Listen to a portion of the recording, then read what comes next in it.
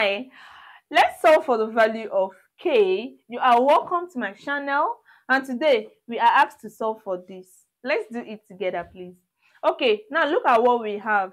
k multiplied by k multiplied by k is simply 3k. Uh, it's simply k to the power of 3, right? So we can write that k to the power of 3 plus k is equal to 10.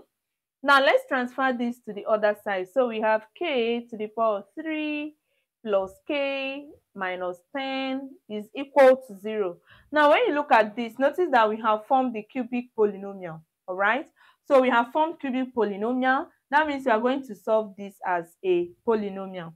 Now, to solve this, I like a particular method. There's this particular method I normally use, okay?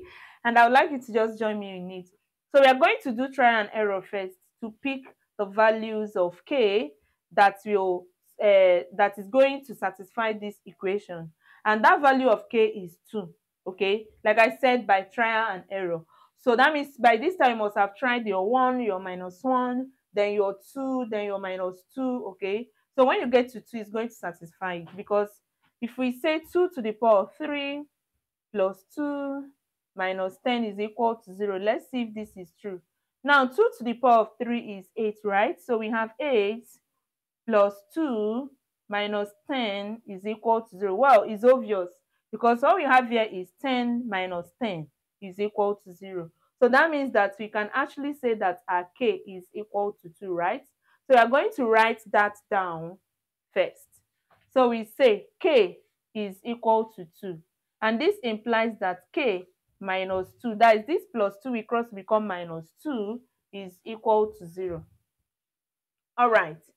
Now, what do we do next? The next thing that we are supposed to do now is to go ahead and divide what we have here synthetically. So this is how synthetic division works.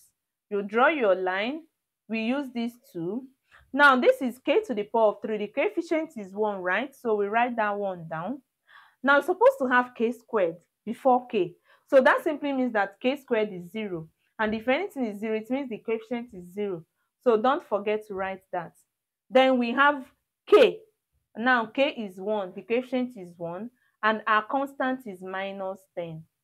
Then we are going to bring down the first number, which is 1. Then 2 multiplied by 1 will give us 2. So we are going to write it here. Now we add 0 plus 2 will give us 2. 2 multiplied by 2 will give us 4. 1 plus 4 will give us 5. 2 multiplied by 5 will give us 10. Minus 10 plus 10 will give us 0. Okay, so with this we have formed the quadratic equation.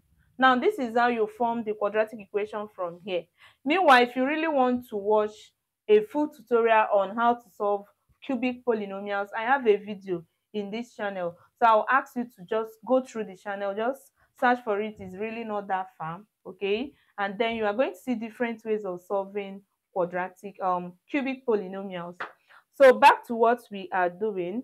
Now we have that k minus 2 right is equal to 0 so let's write that. Then this is going to form our quadratic equation. So that means we have 1k squared. So we have k squared. Recall that quadratic equation starts with what? Square. So k squared plus 2k plus 2k plus 5 okay everything is equal to zero. All right now we have that from here that k minus 2 is equal to 0 right?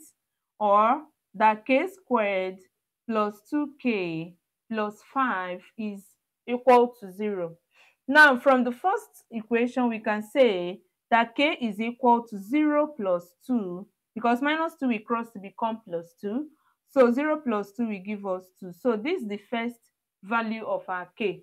Now, when you look at this, we cannot solve this quadratically, right? Use, uh, sorry, you cannot solve this by factorization.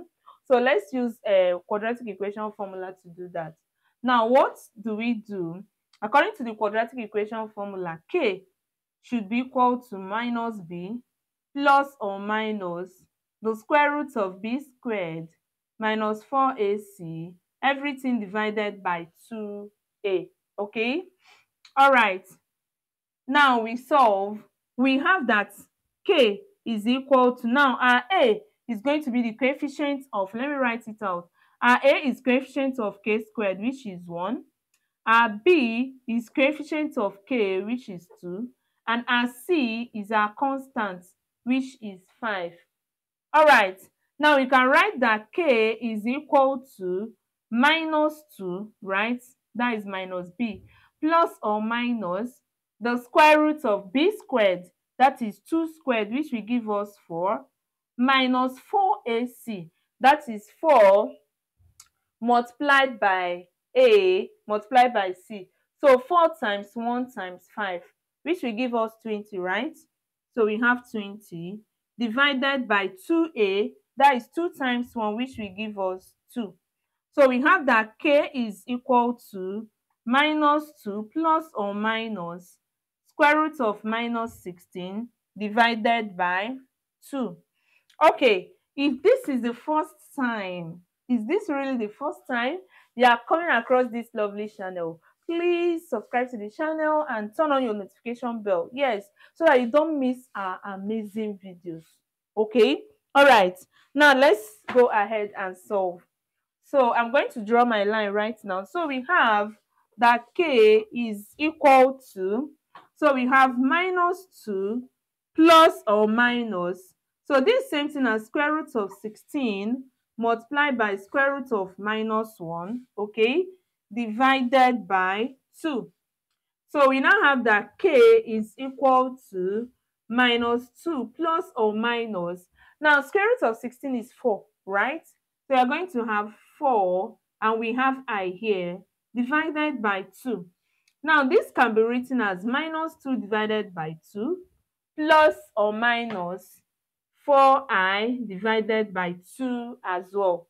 So we go ahead and solve. So our k is equal to, we are going to have minus 1 here, plus or minus 2, we divide this, we have 2, so we have 2i. Okay, so that means that the second value of k is going to be equal to minus 1 plus, uh, plus 2i, right? And the third value of k will give us minus 1 plus, uh, minus 2i. So these are the three values of k.